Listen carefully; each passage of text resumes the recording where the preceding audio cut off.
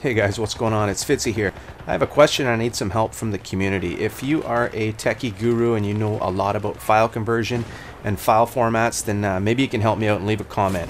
Basically, my new AverMedia capture device records in a .avi format, which my editing uh, program doesn't like, so I have to do a file transfer. That's not a big problem.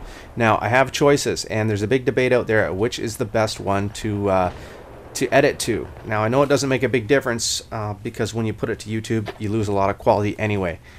So basically, I put this movie together, and there's the WMV file, the MP4 file, and the MPG file. To me, they look identical.